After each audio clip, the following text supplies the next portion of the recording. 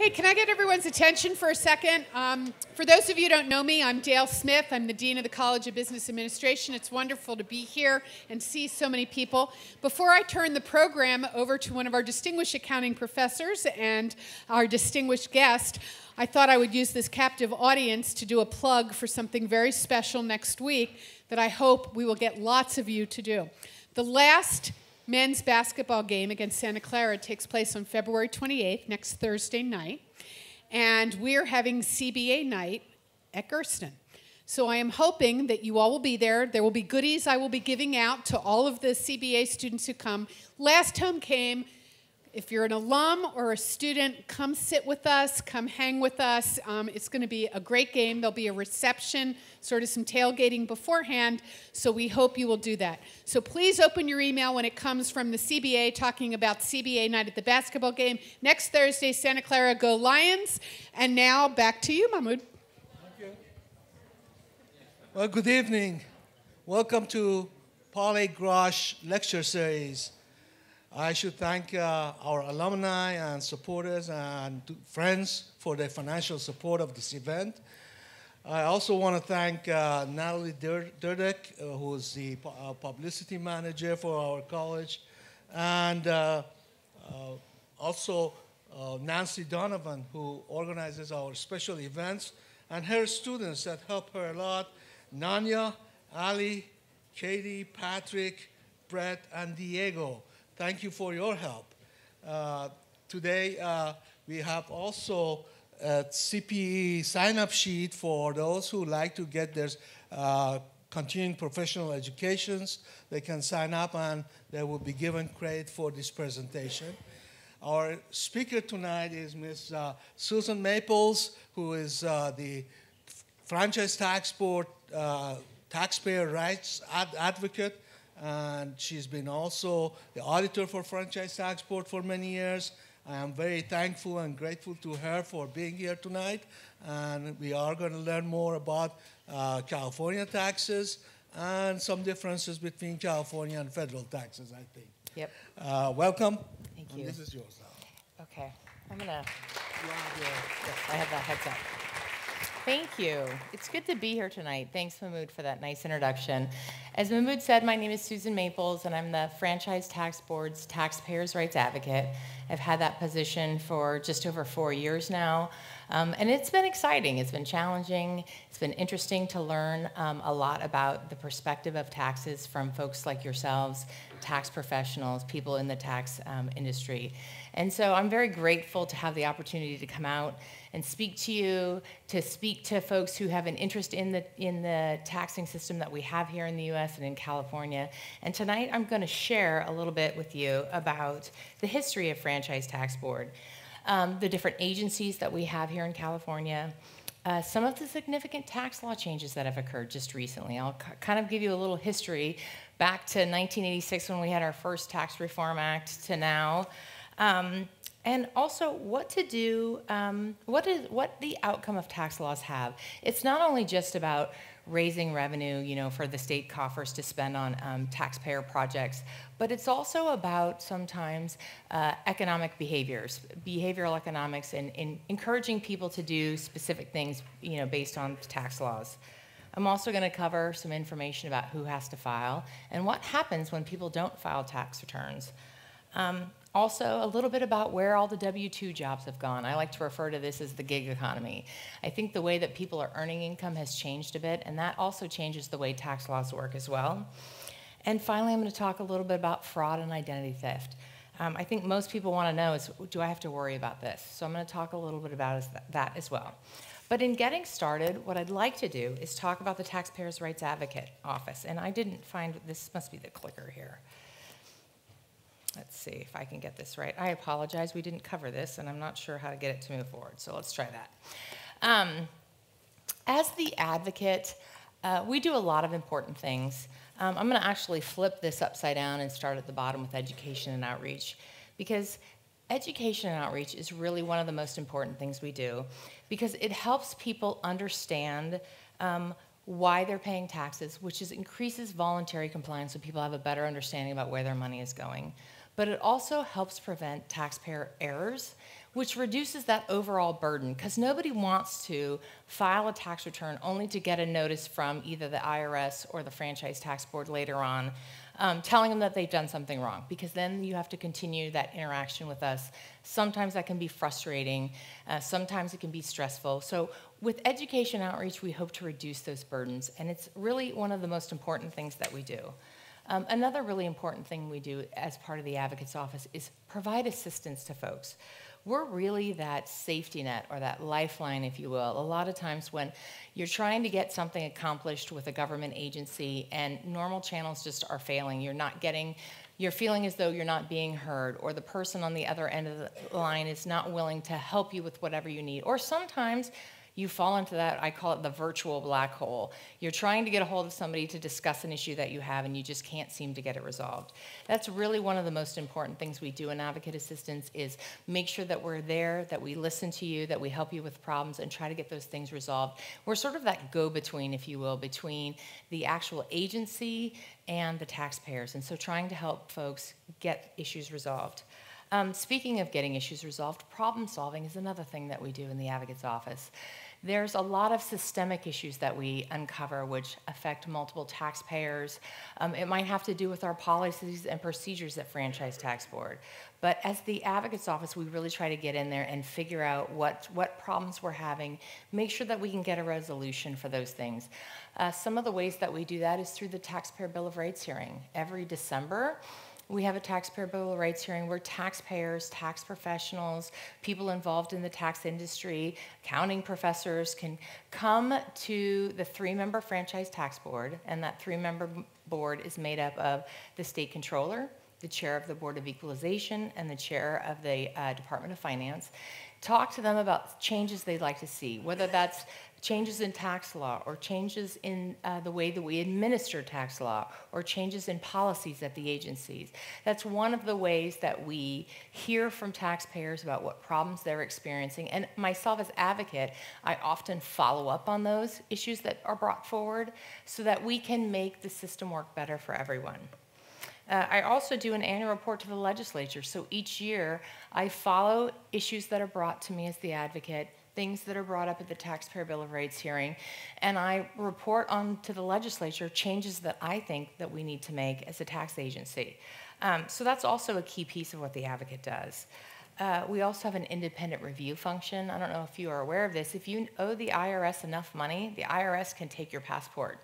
We can't do that at Franchise Tax Board, but what we do uh, do if you owe us enough money, if you're in what we call our top 500, and those are people who owe over $100,000, we can take your driver's license and we can also take your professional license. So let's say, for example, you're a physician and you find yourself on top of that list. Not only will we take your driver's license, but we will have the medical board suspend your medical license so that you no longer can, you know, perform the, what you do to make money. Um, and it's fairly significant when people are faced with reality that they can no longer, you know, run their business, do their day-to-day activities, drive in their car um, because the taxing agency has taken um, you know, their, their license. And as the advocate, one of the, the um, things that they've put in place to ensure that that doesn't happen when it shouldn't is giving us an independent review. So my office, if requested by the taxpayer, can do an independent review of the actions taken by the board. Um, also things like if you are booted out of an installment agreement or denied an installment agreement, um, we can do an independent review to make sure that that was done justly. Um, and finally, let's talk a little bit about taxpayer rights. It's interesting, I come out, like I said, I do a lot of education outreach, and I often ask tax professionals and taxpayers if they know what rights the taxpayer has. And you'd be surprised how many times I'm uh, looked at with blank stares. Um, the most important one, I think, that people always have to remember is that you have the right to be treated with professionalness and courtesy. And professionalism is a key, and you should expect that whenever you're um, calling, you know, the taxing agency. Also, privacy and confidentiality is huge as well. A lot of people will call on the phone. They don't have information about, um, you know, their personal circumstances, whether that be, you know, uh, AGI, which is your adjusted gross income, or other, you know, your social security number. You'd be surprised how many people don't know their social security number offhand. And they're calling, asking questions, and we really put tax professionals as well as taxpayers through a lot of questions to make sure before we're talking to you about sensitive and confidential information that you're the person who you say you are. A lot of times, you know, your parent, your sibling, your you know uh, son or daughter might call on your behalf, and we cannot share that information with them unless we're certain that you have given them authorization. Privacy and confidentiality. It's a huge deal, especially you know when we get down. We'll talk a little bit about uh, fraud and identity theft.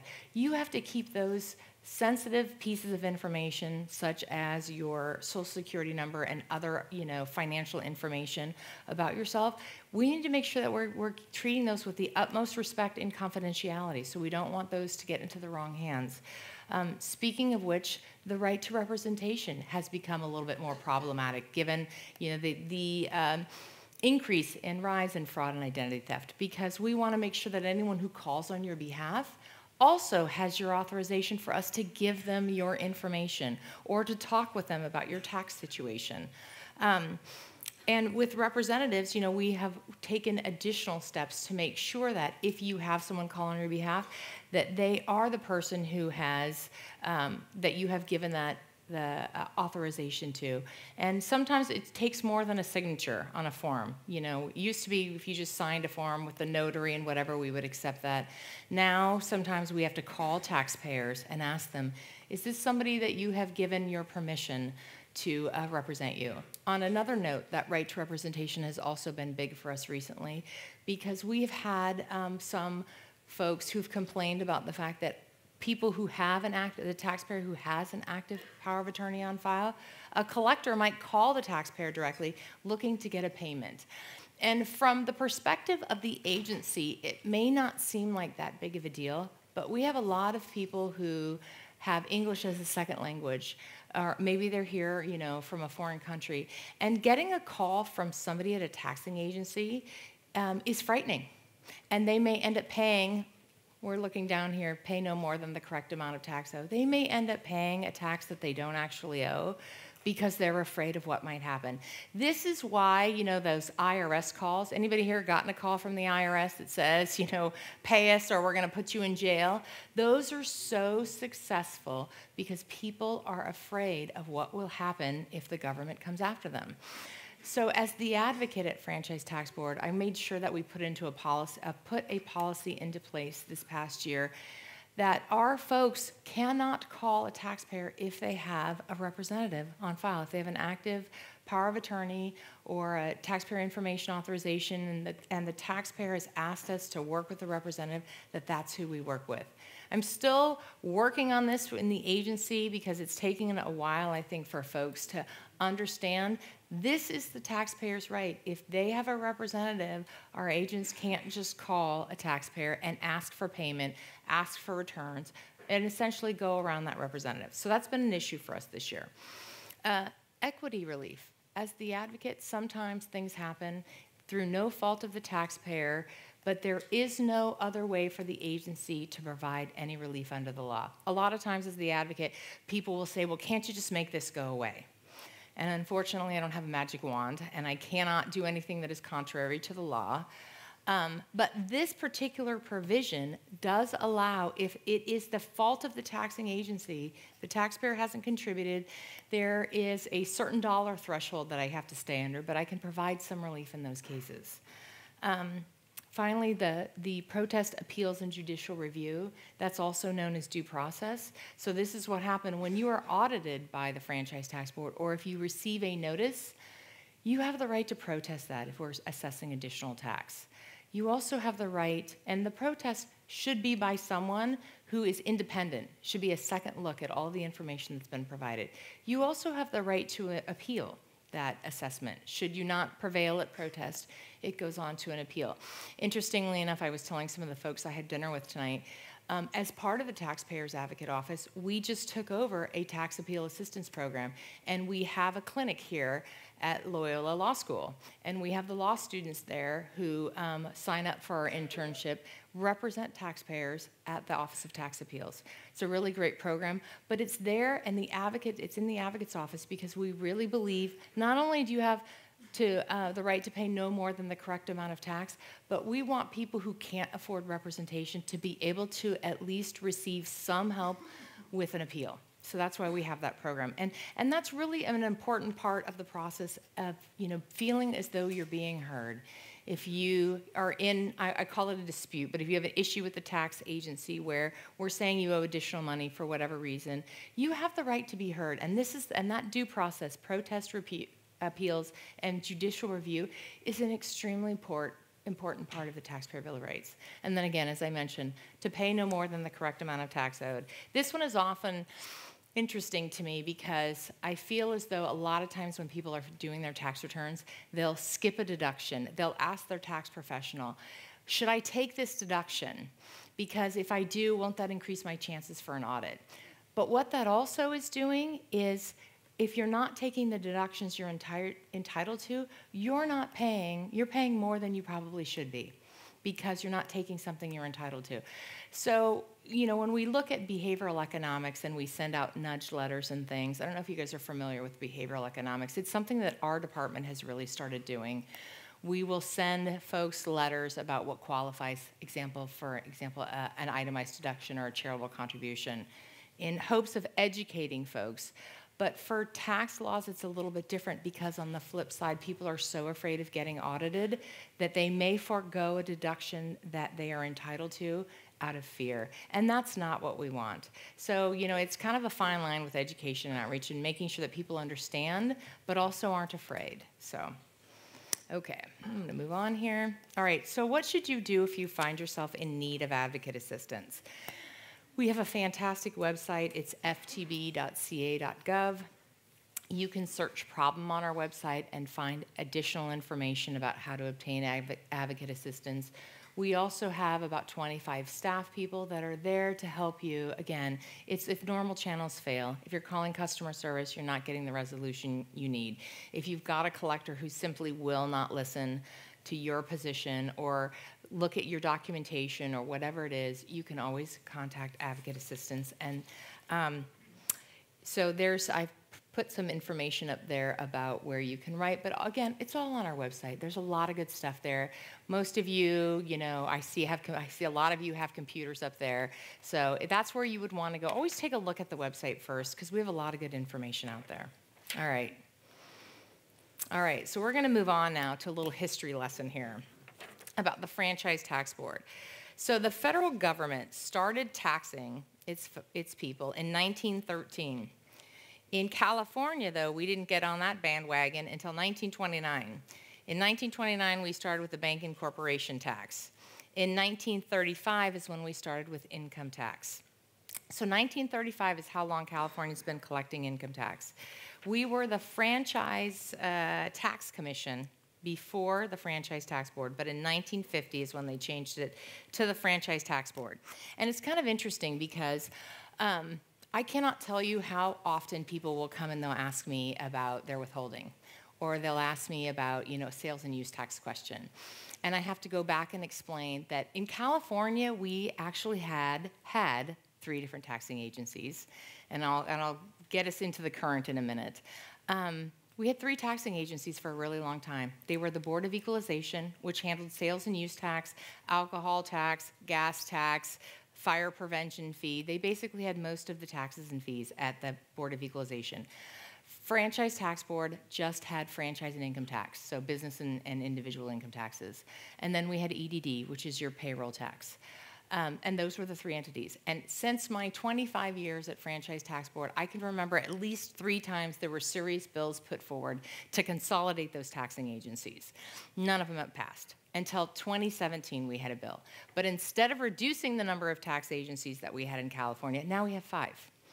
So that one was called the Taxpayer Transparency and Fairness Act of 2017. And what that did was reorganize the Board of Equalization into not one, but three entities. So they split off into the California Department of Tax and Fee, which still handles sales and use tax and a lot of the taxes and fees that I just mentioned. They kept the Board of Equalization because it's a constitutional board, so they couldn't just abolish it. They still have property taxes and a couple of fees. I think they might have an alcohol tax or something in there. Um, and then we created the Office of Tax Appeals. So that is a new, brand new state agency that is taking, has taken over the adjudicatory.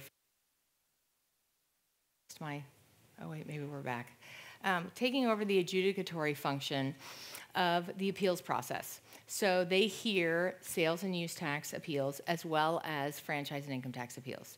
So that's a brand new agency. It is another reason why I'm so um, excited about the, the the law the tax appeal assistance program that we have with the law students because this new agency seems to be a lot more geared towards um, i guess courtroom type procedure where you know you have a, you can have a witness and people can be subpoenaed. And i thought to myself and, and as they started putting forth all these regulations and going to some of these hearings i was thinking to myself as a taxpayer i can't imagine having to write my own brief. I don't even know what goes in a brief or how to write a brief.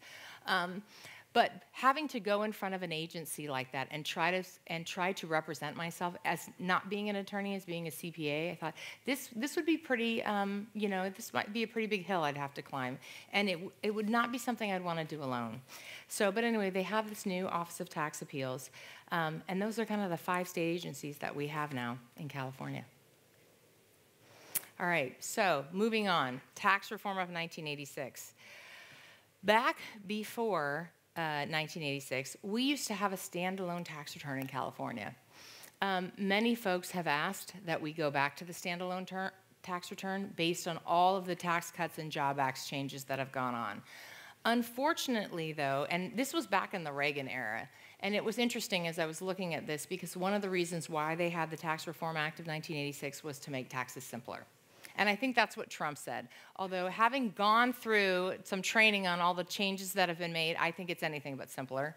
I think he said he was going to put it on a postcard. I'm not sure that that postcard really um, came to fruition either. but uh, it was supposed to be simpler. And the tax reform of 1986 was also supposed to be simpler.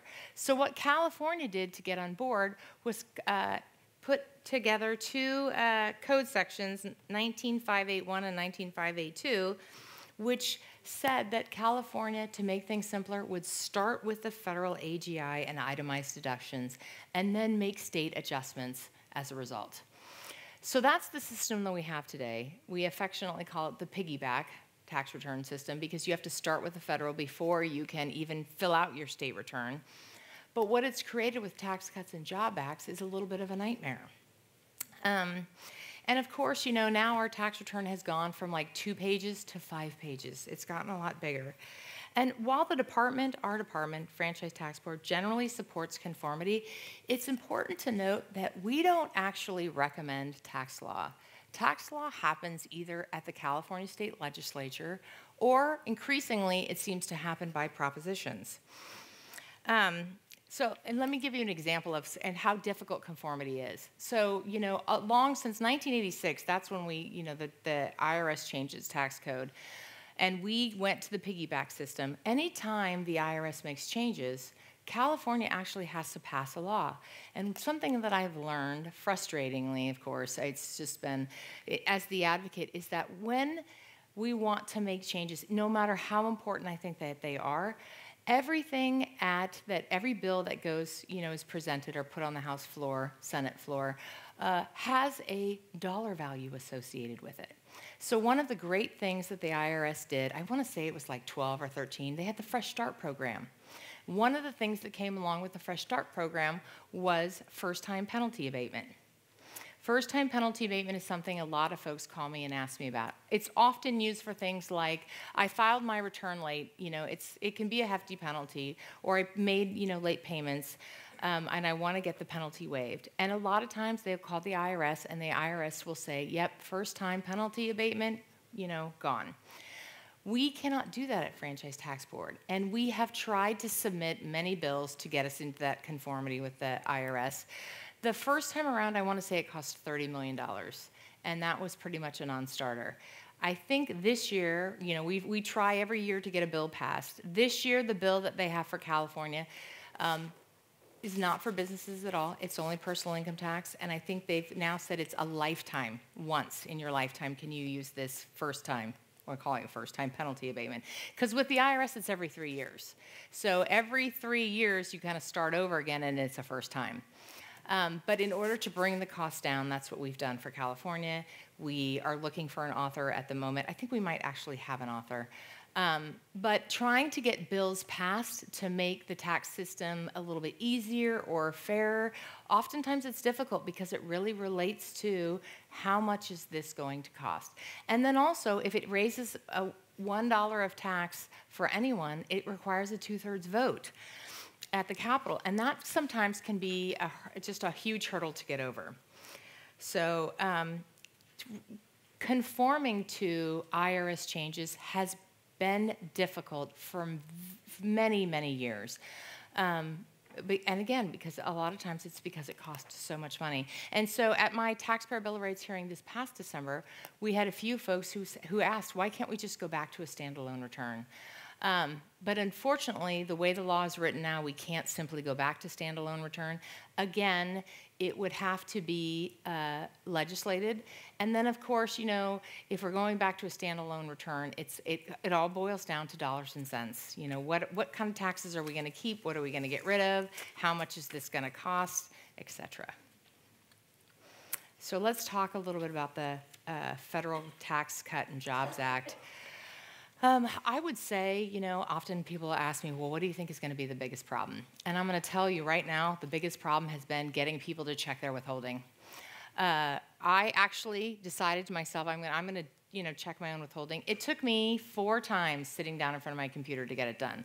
The first time I was at work, and it asked me for my AGI, and I thought, oh, darn, I don't have a tax return at work. I'm going to have to go home and figure this out. I get home, I get a little farther into it. It wants to know, you know, the withholdings that I had last year and this year, you know, what's on my check. It just took a lot more than I really thought it was going to take to check my withholding.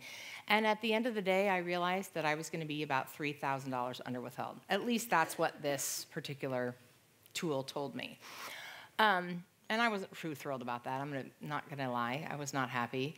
But getting people to check their withholding, even though the IRS has been telling people to do it, we've been telling people to do it, has been very difficult to get to get the response that we need.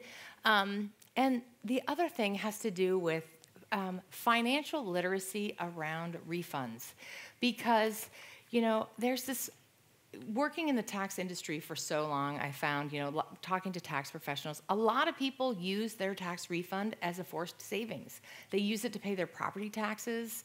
Um, and I have been telling people for quite a long time that getting a refund is not a good thing because you have just given the government an interest free loan all year. And most people can use that in their paycheck every month. So that's what the administration did. They cut your taxes and they also cut your withholding so that you could see more of that money in your check every year. But people see their refunds go down, or if they were one of those folks like me who was pretty much at a zero every year, and now I'm, I'm owing money because they've cut my withholding um, seeing people only really look at what the refund is and they think that that is, um, you know, whether or not their tax professional was good based on the amount of refund that they got. Or, you know, they don't, they're not really looking at the actual amount of tax that they're paying. And so financial literacy around taxes is always difficult, but when it comes to like the Tax Cuts and Job Act, the interesting thing is I may owe, you know, a lot of money at the end of the day, but when I looked at my effective tax rate, guess what? It went down. And it was the same thing for my parents, who I tried, had to try to explain this to because their effective tax rate went down. And I said, if you look at the actual tax that you paid, you'd see it's actually less than it was last year because the tax rates changed at the federal level. And it's interesting, you know, oftentimes I'll talk to folks about the fact that we have a system wherein it's based on your ability to pay. So the more money that you make, the higher your tax rate because it's that perceived ability to pay. The lower that your tax rate is, it's because you're making less on that scale. The perceived ability to pay is lower. And a lot of people think that's not fair. We had a discussion at dinner about a flat tax. That's never going to happen. Um, and it's the way that the system has been built for years and years and years. Um, and it doesn't, you know, sometimes for folks, they don't, you know, think that it's fair. They don't think that they feel like they're paying too much or that person's getting a break. And, uh, you know, I'm not, I'm paying more than I should be paying. I'm going to talk a little bit about more about that when I get to the next slide on social and economic influences. But that's the kind of thing that we've been faced with conformity. It's a lot of questions and it's a lot of unknowns. Um, itemized deductions, as we know it, is gone pretty much. I ended, I I don't know, you know, what other people are doing, but I ended up this year taking the standard deduction because they pretty much doubled it at the federal level, which means a lot of people don't itemize for state purposes. When you're itemizing, it's things like charitable contributions. So guess who complained the loudest about the when they were talking about the proposals for the federal tax cuts and job acts? Charities. They did not want charitable deductions to go away because a lot of people make decisions based on tax effect, tax outcome. You know, would you give as much to your charity if it wasn't tax deductible? A lot of people, you know, think about that. They'll ask when somebody asks you to donate money. You, you know, you if you're concerned about taxes, you'll ask, well, is it tax deductible? Can I get a receipt? You know, you're donating to Goodwill. You want all those receipts because you're going to deduct that stuff. Would you donate all that stuff to Goodwill if it wasn't tax deductible, or would you give it somewhere else? So a lot of things, you know, with the itemized deductions and what people are getting, it, it leads to uh, behavior, behavioral changes. Um, and itemized deductions, are, you know, have been a long-standing thing for, especially people in high-tax states like California. And in fact, California didn't have, in the legislature, didn't have any bills this year at all addressing conformity, other than a couple of ones that I thought were I couldn't figure it out. That had to do with state and local taxes. Some way you could donate to a charity and perhaps get a dollar for dollar credit. You could take a charitable contribution on your federal tax return, but still get you know credit on your state. And it was really I don't, it didn't hold any water, which is why they didn't go anywhere. And the IRS had threatened to, um, to quash anything that the states might pass. But that's been a huge deal for a lot of people. It's what um, really pushed people, you know, into home ownership was the deduction for mortgage interest. You know, they're trying to get people to, to do certain things because of tax law. Tax laws convince people to do things a certain way because they're going to save money or it's going to be cheaper. It's motivation. Um, but with the Federal Tax Cuts and Job Act, in terms of you know spurring on business, they have these new 199A deductions, which is generally allowing a 20% deduction for business income. You know, they're trying to motivate certain things. You know, I, I know that this administration is really interested in creating jobs, and I think this might be something that's trying to help move that along. So you have to think about that when, when different uh, tax laws are passed or different cuts are made, um, you know, and based on, you know, what are, what are they trying to, to encourage in the economy? Um, I was calling this year the perfect storm because so many changes have been made. And in addition to that, you know, we've had the government shutdown, we've had um, uh, all of these conformity changes, and a lot of folks also rely on software to do their taxes. The software vendors, I mean, a lot of tax professionals, you know, they really do rely, and I think this year in particular, are going to have to rely on the software to help them figure out what to do.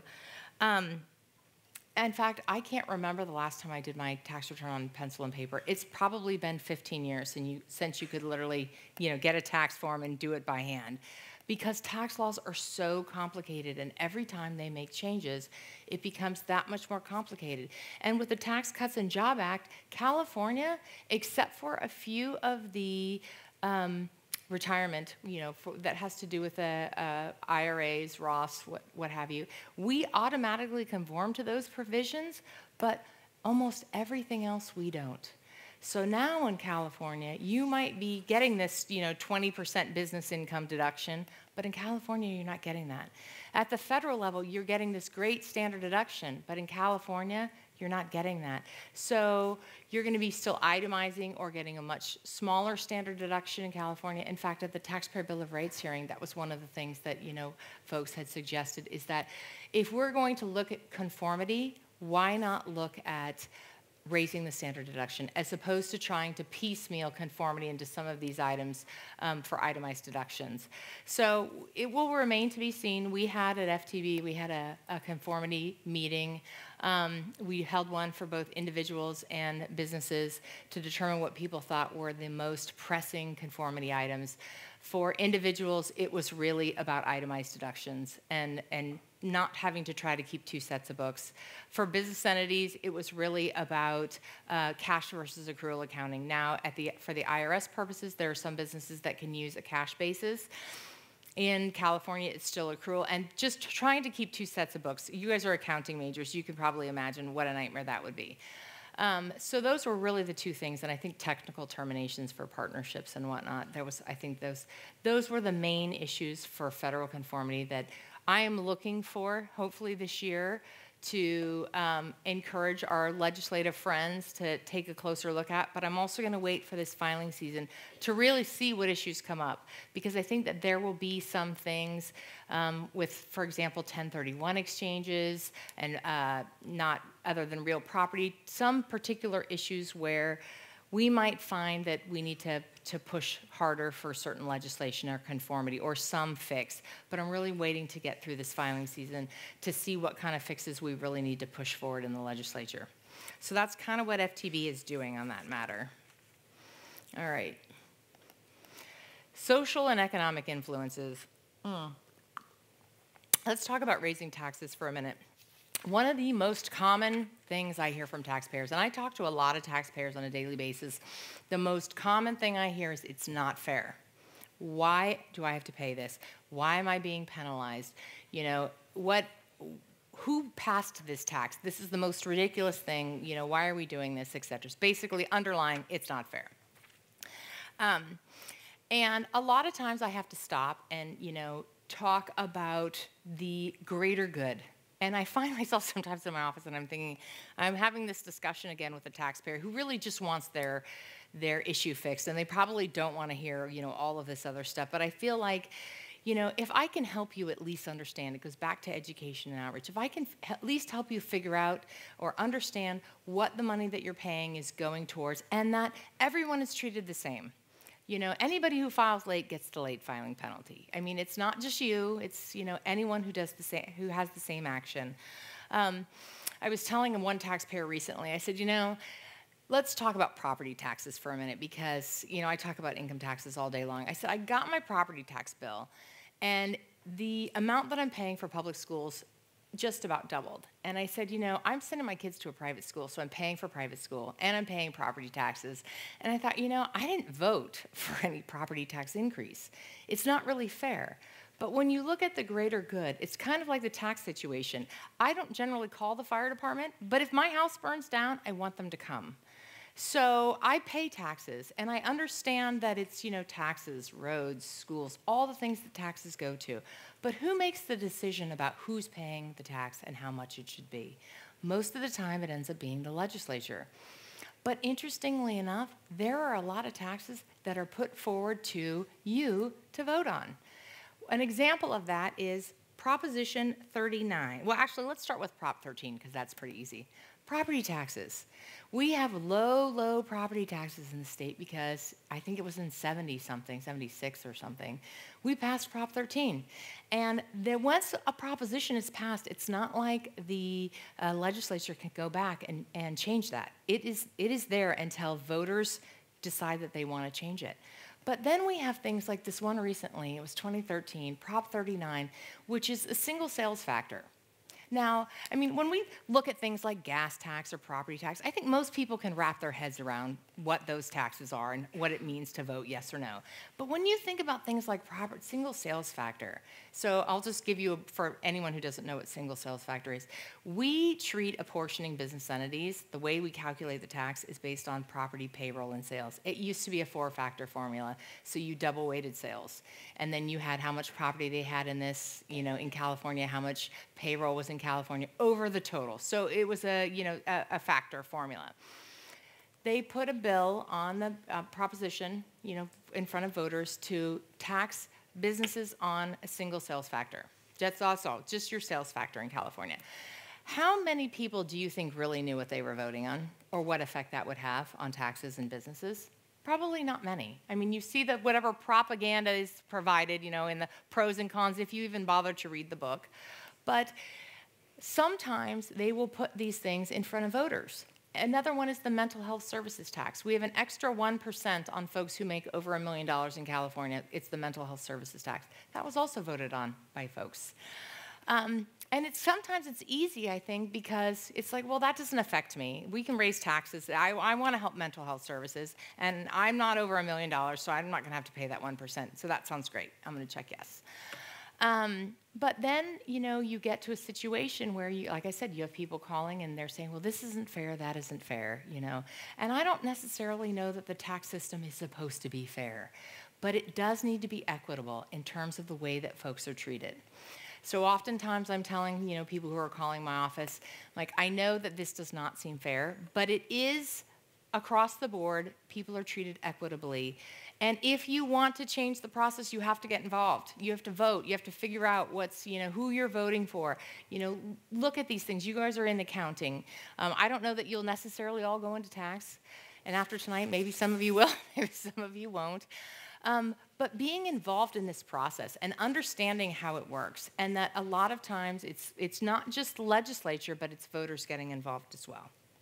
And besides, let's face it, raising taxes, especially on certain groups, is can be wildly unpopular. And so um, it's difficult, I mean, for the legislature to determine. And they're trying to fund a budget. So if they raise taxes, they have more money for those other more popular programs. So sometimes that's how we end in the boat that we, we're ending up in. But also, tax law is supposed to entice behavior. We have the Earned Income Tax Credit, which is a tax credit when it first rolled out three or four years ago. I, it was, I think you had to make less than $13,000 a year in order, as a single person, in order to qualify. And I thought, who is, no one's filing a tax return. I have a slide a little bit later that talks about whether or not I have to file. These folks are not filing tax returns. Why would we put a welfare program, that burden on taxpayers who don't have a filing requirement to begin with? Because now they got to go find a tax professional, probably pay to have their taxes done in order to get the money back. And it wasn't wildly successful in the first year. So the next year they sort of, they've increased the amounts for folks who can qualify. They also expanded it to people who had self-employed businesses. That's another thing I'm going to talk about in a little bit. Is the gig economy and the way that people are earning money. So those folks that are Uber driving or you know um, TaskRabbit or any of those you know gig economy type platforms, those folks could also apply for the earned income tax credit. And they've expanded even more to lower the age and up the income so that more and more people could qualify so that these people are getting refunds back, even if they're not paying it. And it's a refundable credit, which means that they don't actually have to be paying any tax to get money back. All they have to do is file a return. And getting those folks to file a return um, can be difficult, if, especially if they didn't have a filing requirement before.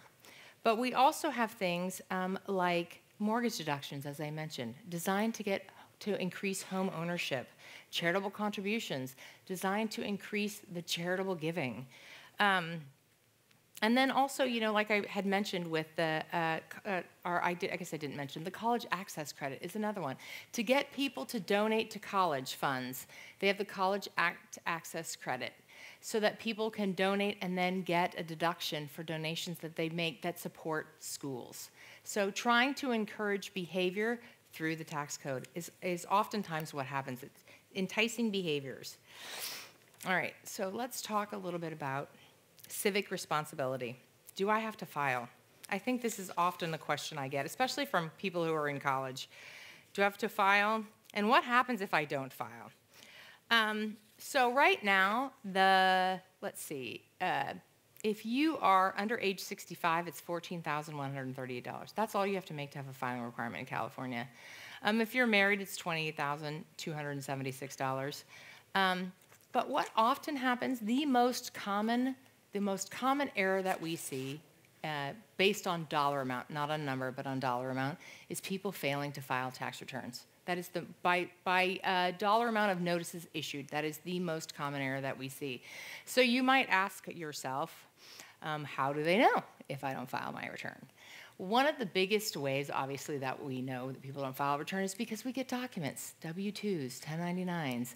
We get uh, information from cities about business licenses. So if you register, if you have a business and you get a business license and you fail to file a tax return, we get that information from the city, and if we do not find a Schedule C, or you just you file a tax return and omit the Schedule C, we're going to send you a letter that says you have a business license and didn't file a didn't file a Schedule C.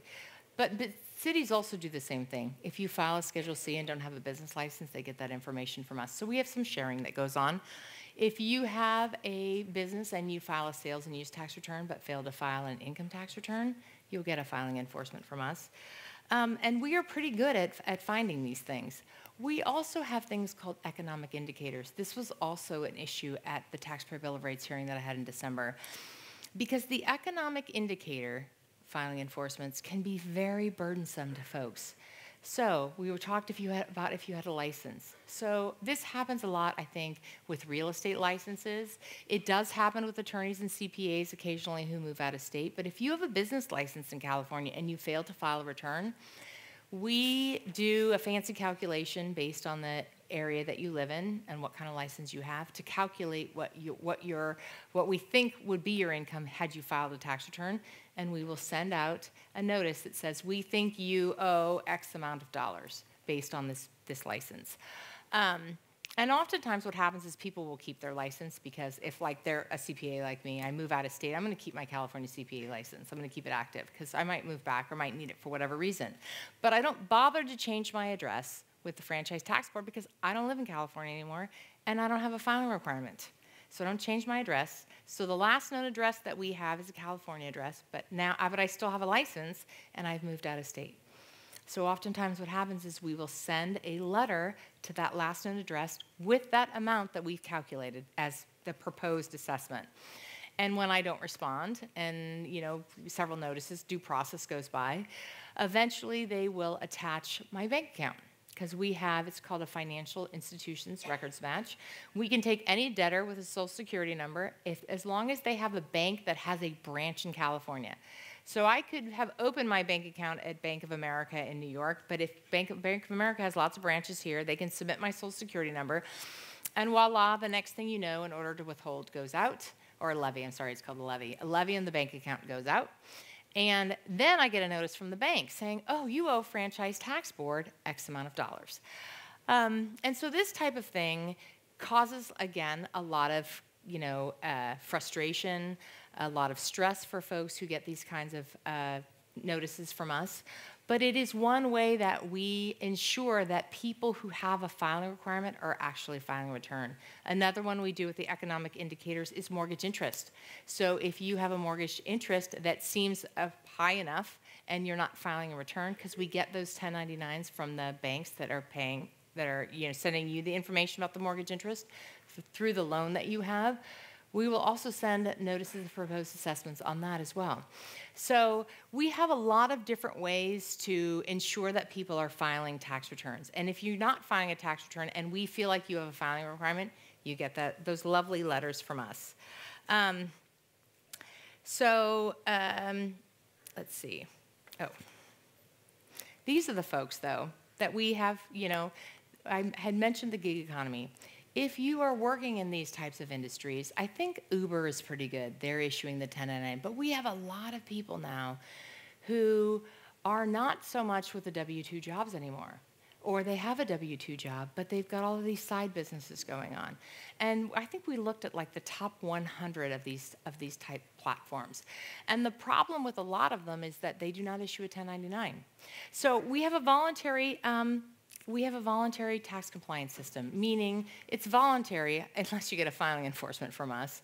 But for the most part, you're supposed to file a tax return and tell us how much you owe. But what happens if you've done a bunch of work for, you know, you're selling stuff on Etsy, maybe you're selling stuff on eBay, maybe you've, you know, been driving a little bit Uber because you don't have anything else to do and you, you know, want to, you know, socialize with people or whatever it is. Um, and you don't get any tax documents from them at the end of the year telling you how much you made. This happens a lot.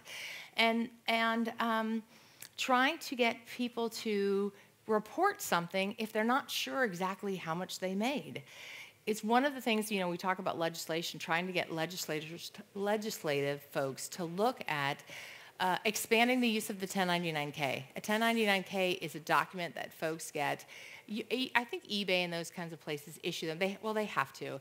You have to have um, more than $20,000 in income or I think 200 transactions. So it's a fairly high level. Some states have decided that they don't, um, that they wanted to lower that level more because a regular 1099, I think it's if you make $750 or more, you you you know required to get a 1099.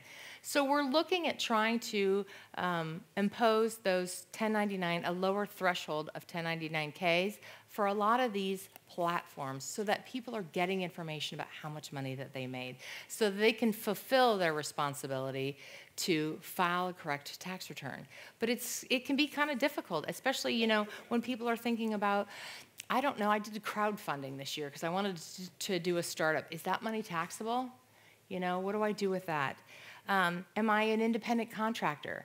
You know, there's self-employment taxes from a lot of this stuff. If you're filing a Schedule C, um, one of the things that we do when we go out to the small business, I mentioned earlier that I have a small business liaison, and um, he goes out and talks to people about starting a business. Am I a sole proprietor? Should I be a partnership? Should I be an LLC? You know, what do I need um, protection from if I'm an LLC? You know, liability protection, those kinds of things. Um, but being an independent contractor, you know, and having to pay self-employment tax on all of the income that you make selling stuff on Etsy or you know being an Uber driver, any of those types of things. There's a lot of questions that people have. Um, but receiving tax documents, we know, is one of the most effective ways to ensure self-compliance. And it helps you to know exactly how much money you made. And it helps us to know exactly how much money you made. So that when you file a return, um, we can help you or we can make sure that you, you know, you're putting the right amount on there. And it helps if you have a tax professional, when you, if you have forms to take to your tax professional. Um, a lot of people who start small businesses or get into you know any of these kind of gig economy type things, it's usually because they have a really great idea. Maybe they're really good at making jewelry or selling paintings or you know uh, playing an instrument or whatever, teaching other people how to play an instrument they're not so good at finances. And so when it comes time at the end of the year to figure out what all those expenses were, they're not keeping good books and records. So if I can share anything with you guys tonight as you move into your careers, if you're doing things that are small business related, you know, entrepreneurial, uh, entrepreneurial type stuff, find yourself a good bookkeeper, accountant. Make sure you keep records or have somebody keeping records for you and giving you financial advice, helping you with the business plan, making sure that, you know, if you're the person with the great ideas and the drive to create something, that you have somebody there behind you helping you with the finance piece along the way.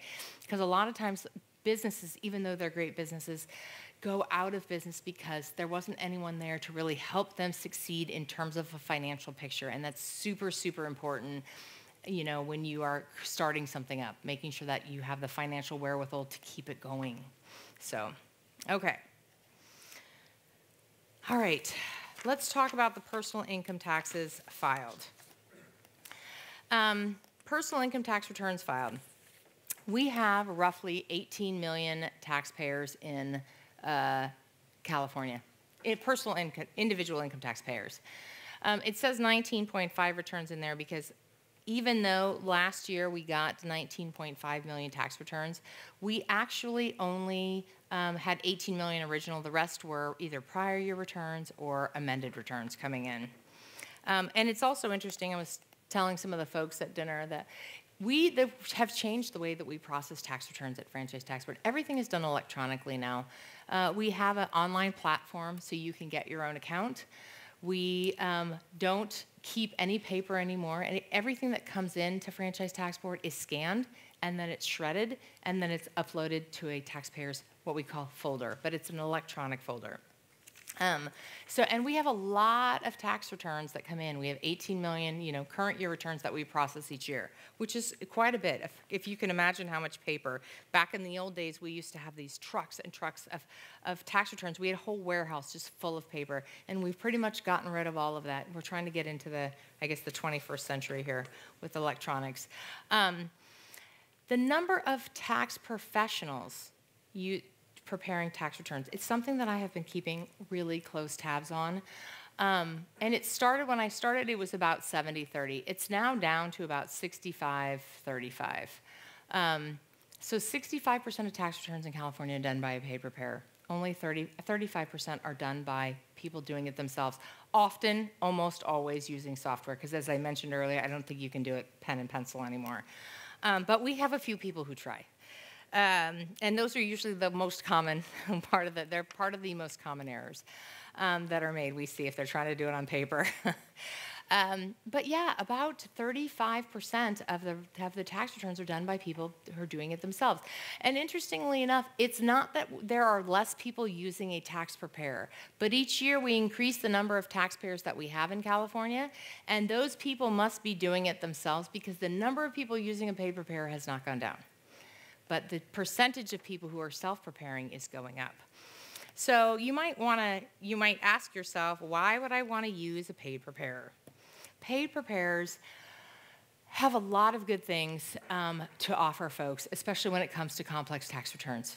I mean, they really can help you, guide you, as I mentioned earlier with the small businesses, you know, or and or any kind of financial decisions that you're going to make. Oftentimes, you'll see, you know, anytime you go to a, a marketing piece for uh, insurance or you know um, some of these mortgage things that they're selling, it'll always tell you to contact your tax professional because it's complicated. And having a tax professional help you with your taxes can be important if you have a business or a complicated, you know, a tax return to file. But a lot of people are doing it themselves. And one of the things that we have seen as well is that tax software sometimes always isn't as easy as it could be to use. I was um, mentioning to some friends as well that I um, do some tax returns for myself and for my parents. Those are the only two that I do. Um, and doing, using the software, it can be confusing. And I'm a tax professional, if you will, tax professional. I use that term loosely because I don't actually prepare returns. But it can be difficult to, to navigate the tax, the, the software and figuring out whether or not it's correct, what question they're asking you, what it's uh, wanting you to do. And so um, if you're going it alone, you know, using software can be, it can be a good experience and you can and most people are successful in doing it but i've seen a lot of taxpayers who will use software and then realize that they don't they're you know at a point where they need help. They're not you know they they don't know exactly what the software is trying to ask. The law is pretty confusing as it is and they need to get some you know additional help. Having a tax preparer can be a good thing. Um, but i am seeing as we get in you know more taxpayers who are coming into california the it seems to be that the um, the newer folks that are coming in are, are doing it themselves. And so we're seeing a decrease in the number of tax professionals that are, um, that are coming into the market as well. I went to Las Vegas this summer. Mm. I went to Las Vegas this summer and there was a number of tax professionals there that had just gotten into the industry and i had one gal come up to my um, table and she wanted to know she had failed to file an llc return which is a 568 in California, eh, because she her business was an LLC. Um, and I said to her, I said, "You're a tax professional," and she said, "Yeah, I just I didn't realize I filed a Schedule C on my return, uh, my my federal return, and I didn't know that I, as a single member, that I needed to file a separate return for California." And I was really surprised um, at how she could be a tax professional and not know this. And I'm sharing this story with you because if you're thinking about using a tax professional, you really need to vet who it is. There are there are lots and lots of good tax professionals out there, but when you think about the fact that you're giving over all of your personal information to a tax professional, um, you should do some investigation as to you know how uh, how well they do at preparing taxes. Um, either get friend suggestions, go online. You know, if you're doing a, a enrolled agent or CTEC registered, in order to prepare California taxes, you either have to be uh, certified by the California Tax Education Council, you have to have an EA license, you have to be a CPA or an attorney. One of those four things. Everyone who pays or who accepts money to prepare a tax return in California must have one of those designations and must do continuing education. But that doesn't mean all tax preparers know what they're doing. Clearly, from the, the explanation I gave you about the gal in Las Vegas, you really need to vet these folks before you just hand over your stuff to them. Make sure that they know what they're doing.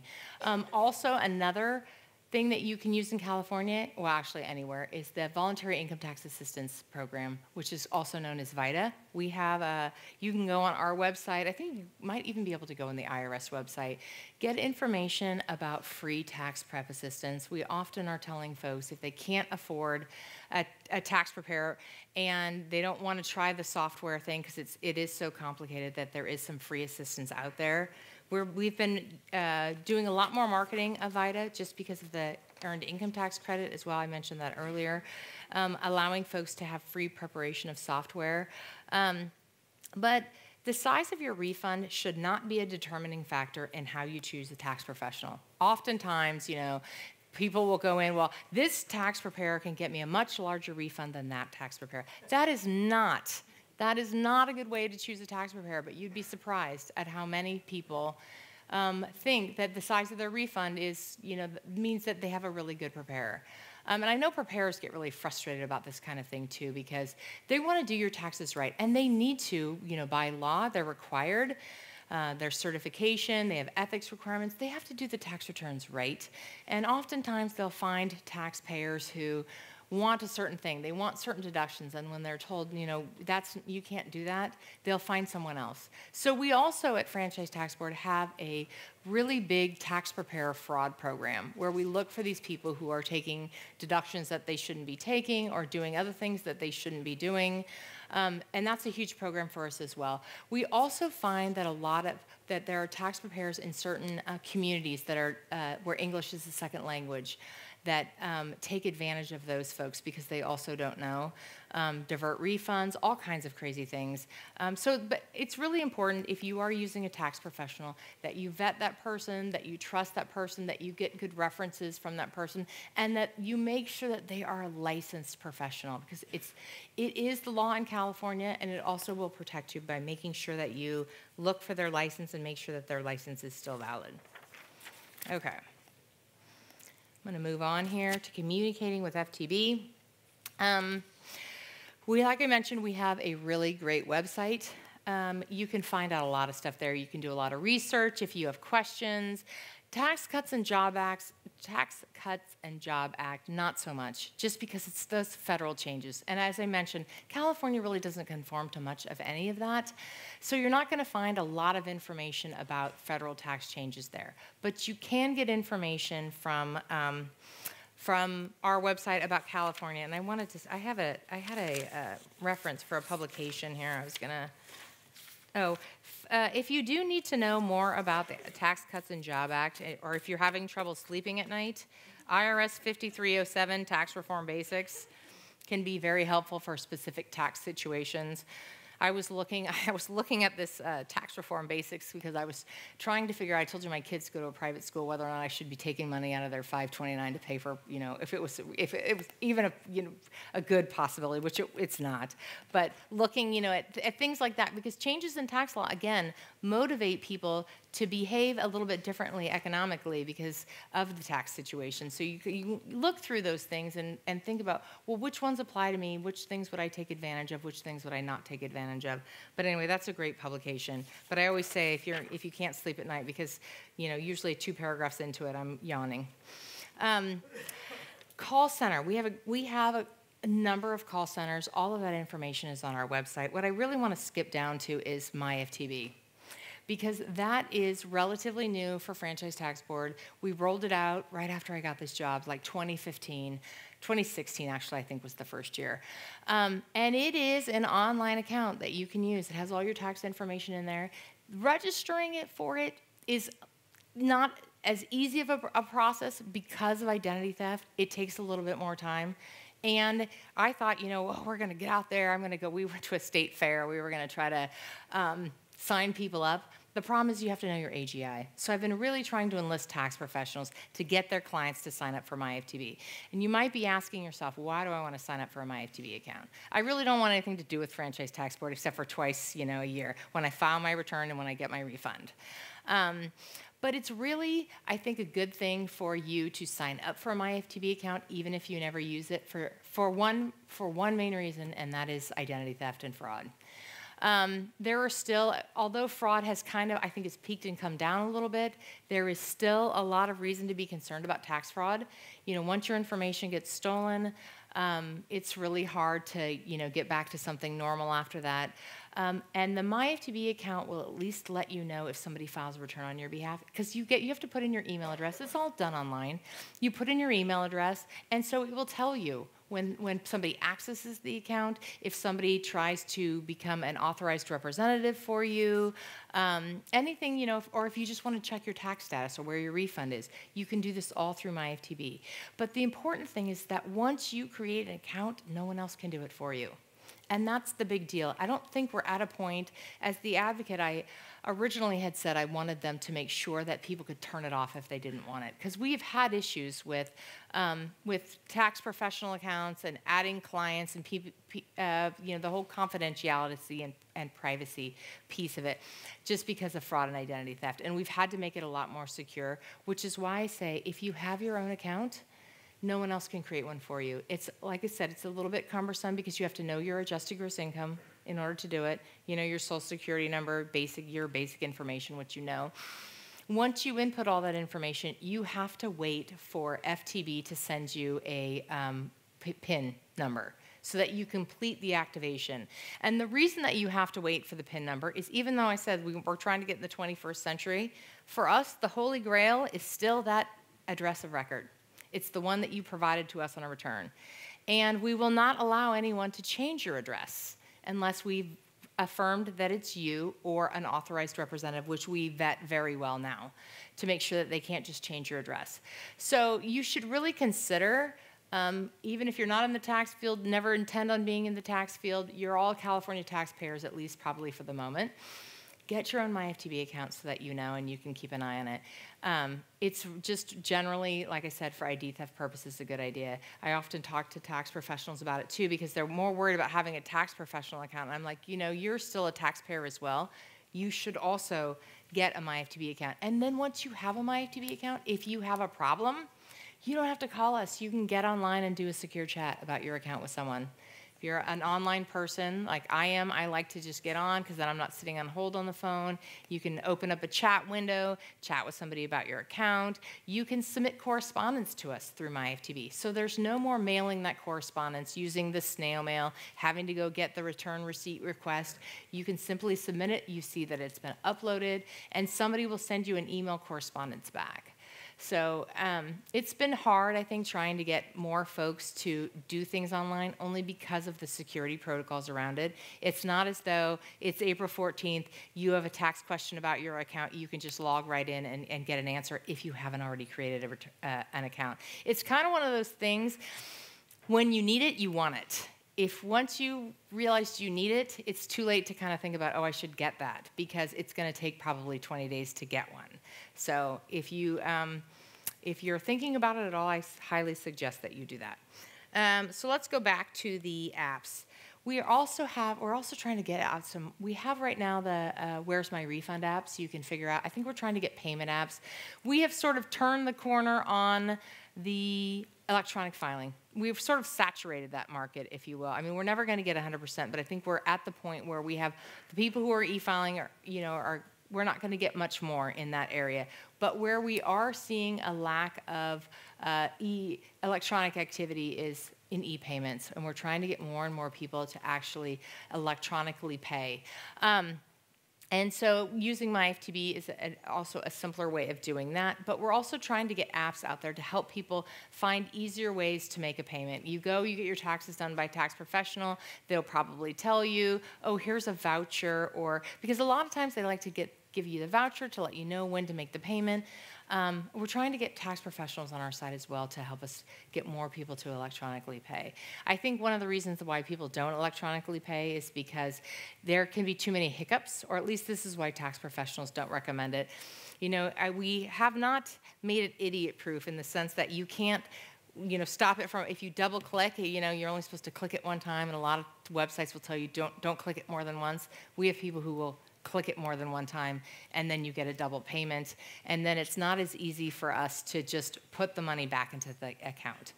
Um, so we're trying to work out some of those types of bugs to make it simpler so that you know people aren't making double payments or aren't thinking they made a payment and then they didn't make a payment and all of the various things that happen. Um, but that's one of the next frontiers for us, I think, in terms of um, moving things, you know, onto the electronic side is getting more folks to electronically pay.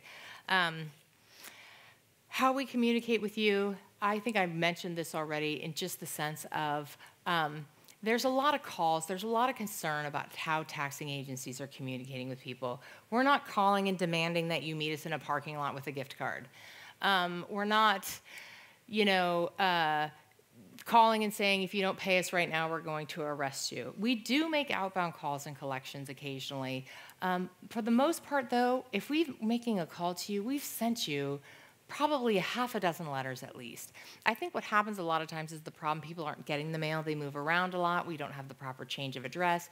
We have some we have some technical challenge I'd say with making sure we have the proper address for folks as well. Because we get address information from DMV, we get it from LexisNexis, we get it from you know other state agencies, and so trying to figure out what is the correct address for you sometimes can be challenging. So there are times when we call folks out of the blue, but at the same time, I hope you know you would realize that to be cautious with giving out your personal information over the phone to anyone, um, and you can always ask for you know to call to get somebody's number to call them back, or you know look on our website to make sure that the person is who they say they are. Or, you know. Look in your MyFTB account to see whether you actually owe us money, why someone might be calling. So, all good reasons. All right, fraud and identity theft. Um, this is my last slide. we have a difference between tax fraud and ID theft. Tax fraud is generally when people um, they uh, alter W-2s. It happens quite a bit.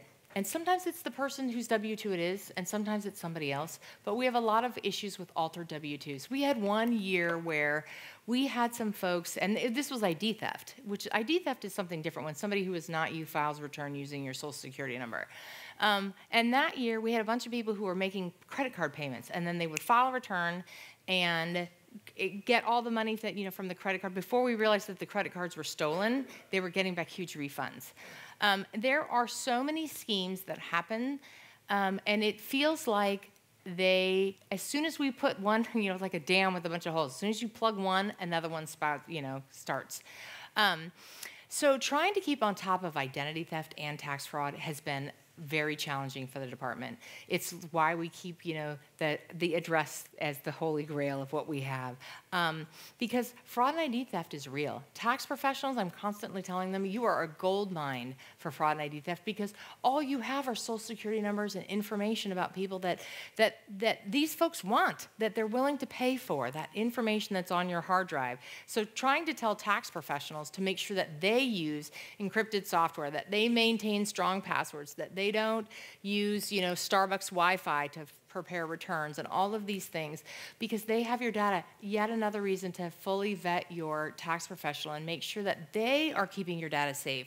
Because if you're giving over that important information to them, you need to make sure that they're treating it with the utmost care and confidentiality. Um, but ID theft is still a concern for us, and it's one of the reasons why um, tax returns or refunds, I'm sorry, tax refunds can sometimes be slower coming out. We had a bunch of folks last year. Um, we have a program where if your company has been breached you know, or if you're an accountant, you're, you're, you know, you've lost taxpayer information. There was a scam last year where people were calling companies and posing as the CFO and asking for all of the uh, social security number and, and, employee names, and people were giving that information out. So they had, uh, we got a bunch of calls from, from uh, taxpayers, businesses saying, you know, I've, our, our company's been hacked, or we accidentally gave, you know, all this information out angry tax professionals calling us and saying, you know, my client, I've had the same client for 10 years, same W 2, same wages, same withholding. What gives? Why are we now holding this refund for, you know, 30 days? Uh, because we have to do the, we have to take those extra steps to make sure that it's not tax fraud, that it's not ID theft. And I was telling, you know, folks, I said, it used to be, some of you probably don't remember this, but before 9 11, you could show up at the airport as long as you got there 10 minutes before the plane left, everything was good you know, you just kind of got in there and, and, went. But now, because of the, you know, of the bombings and whatnot, we all sort of pay the price for security. This morning I got to the airport two hours early because I got to get through, you know, the, the, the check and take off the shoes and, you know, all the, the security screening. And it's the price we all pay for security. And it's sort of the same thing with refunds, I think. We have to accept the fact that we can't get refunds like that now because we also have to make sure that we're looking for identity theft and making sure that people are protected. And so it's kind of one of those things that we, um, we give up for the greater good. Um, but ID theft and fraud is still um, a huge issue. It's easy for people to commit these sorts of crimes. There's not a lot of downside, so make sure you protect your tax information. And above all, if you can, sign up for a MyFTB account so that you can you can monitor your own information and make sure that you're um, not being become a victim of fraud or identity theft. All right, and with that, I have time for questions if anybody has any. Anyone? Ah, yes. So the FTB account, Yes. how long do you, uh, does it hold your information? Uh, I think we have a seven-year retention policy for electronic data. Um, and I don't know exactly how far, if it will go back longer than seven years, but we have a general seven-year data retention policy. So, yeah. So at the beginning of the lecture, you Yeah. said um, that somebody, a taxpayer in the top 500, they Yes. get their uh, license suspended, say their Yes. medical license. So how Yeah. are they supposed to pay those taxes if they're not able to practice? So that's actually a good question. A lot of times we try to work with folks. So if you're in the top 500 and you've had your driver's license or medical license or bar license or any of those suspended, that is a very good question because we want them to pay the tax. And so oftentimes what we try to do is work with them either to get them into an installment agreement so that they can get off that list and we don't take their license away. But a lot of times it's, the last ditch effort because these are folks that, that owe us in excess of $100,000. So trying to get them to work with us either to come to an agreement about how much they owe, because sometimes that's what the issue is, but oftentimes just getting them into some sort of payment plan to get them to pay off that liability is what we try to do. Oop. Well, thank Yeah. you. Oh, do you want? No, please. Okay, go ahead. For 2018, for 2018, um, are we still able to write off uh, investment expenses? No. You're talking about on the Schedule A, itemized Yeah, deductions. eh, Right, okay. Yeah. You've answered it. Yeah, a lot of those 2%, um, those 2% deductions went away. Yes, do you have a question back there? Um, you talked about uh, how when people don't pay taxes, Yes. but they have a license in California, Yeah. You'll sort of calculate what you expect them to owe Uh huh. and send that to the address they have on file. Yes. But if, for example, you moved out of state, but Uh-huh. you still have that California license, um, what sort of happens with that? Do they just not? I mean, they don't have to pay, or Um, one of the, I guess one of the things that people have suggested is why are we not getting the address information from the licensee because the, from the licensing agency? Because if I moved out of California and I still have my CPA license, I would update it with the Board of Accountancy here in California. We just didn't have that ability to exchange that a- address information with the Board of Accountancy, but we have really. Um, made some changes in how we get what we call the best address for a taxpayer. So we get addresses from all different um, places of information. All different places. We get that information from all different places. Um, but the reality is, a lot of people do not get those notices from us. And that's a problem because then they don't find out until we've levied their bank account. And that happens more often than I'd like to admit. Did you have a question? Hi. So you said that many of our tax laws are voted on, but that Mm-hmm. people don't understand tax laws. So how is that process fair? And if so, like how can we remedy that? Um, so some tax laws are voted on by the by public, and it, it's a ballot measure. You know, somebody will get enough signatures to put something on a ballot. That's how the, the ballot process works. Um, but a lot of times, because taxes either raise or lower um, the the budget, you know, either we're, we're raising taxes increases you know funds for the budget. A lot of tax law is done through the budgeting process. Um, and some of it's done, you know, for administrative purposes. But I think, what was your question? Is that how do we fix that or? Like, how do we fix that if people are voting on things they don't understand? That is a really great question. I don't know, not just tax law, but all kinds of things that we vote on. Half of the time, I don't understand what the bond measure is for, or, you know, what, a lot of the different things. I can list a whole laundry list of, of propositions that I voted on this last time that I was sketchy about what, what it actually meant. And I, and I honestly, that is a very good question. It would be really nice if the things that we voted on were more clear as to what, it, what the actual outcome was going to be. But the process itself, I think, is broken only in the sense that a lot of times it's rushed so quickly. You have people who are lobbying for or against. A lot of times it's special interests that will get things on a ballot. And they really just tell you what they want you to hear, unfortunately and I don't, unless you have a lot of time to spend, especially given the number of propositions that were on the last ballot, unless you have a lot of time to spend, I don't know how it's possible for a person to completely understand everything that's on that ballot unless you spend, you know, a week and a half researching every single one of them.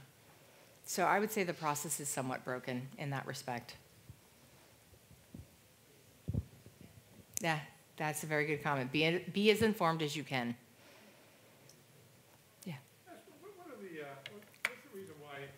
California doesn't go uh, full piggy bank on, uh, on taxes, just have a set percentage of the federal number and be done with it?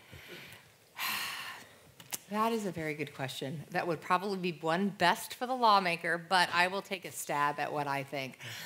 Um, there are too many uh, pet projects, if you will, things that people have decided that they want. Um, you have too many things that have been earmarked. You know, a lot of times they pass you know, like for example, the 1% mental health services tax. If we do away with that, the funding for that goes away. I mean, how would you figure out what that percentage was going to be? It would be it would be a mass overhaul project that would require a lot of bipartisanship, you know, and I just I, I just don't see it happening. People working together from both sides of the aisle to determine how the money's going to be spent um, and how much it's going to be. Because again, if we're talking about flat tax, you know, that if you're, as I had mentioned, it's sort of a pay as you, not a pay as you go, it's a uh, uh, ability to pay system. Mm-hmm. You know, people who make less money pay a much lower percentage of taxes, and the more you make, the higher the percentage. And I don't know how that would work in the type of system that you're talking about with, you know, just a percentage of federal. So I think there's, it would take a lot it would take a lot, and I, you know, I don't know. We'll see what the what the legislature wants to do this this session because we're going to be talking about conformity to Tax Cuts and Job Acts, and I think there are going to be some big deal breakers. I mentioned a few of them. Um, cash versus accrual accounting and technical terminations on the business side, which really tend to get people heated and starting to talk to their legislature about stuff. So perhaps we'll get some bills. But last in the last session, it was really about the SALT limitations with state and local tax, you know, that, that $10,000 limitation. And, and I feel like in some ways it's more, um, uh, you know, the politics of it. You know, we just, we don't, whatever Trump says, you know, California doesn't want to do, and we're going to fight against that. And, and until we kind of get away from that and figure out what is the best for the state, but I think even that's problematic because pe people don't agree what the best thing is for the state. And so trying to create any mass overhaul like that is, is yeah, I don't know that it would ever happen. I, we, we can't even get conformity to the federal. And, and not, I'm talking before Tax Cuts and Job Acts. For many, many years, we're like, we need to conform, we need to conform, and we just get, we get piecemeal conformity, a little bit here, a little bit there. It's never like a, you know, a whole, uh, you know, date change type of a thing. I mean, we did get one of those recently, but um, it's very difficult. It's very difficult. So. I want to thank you for informative presentation.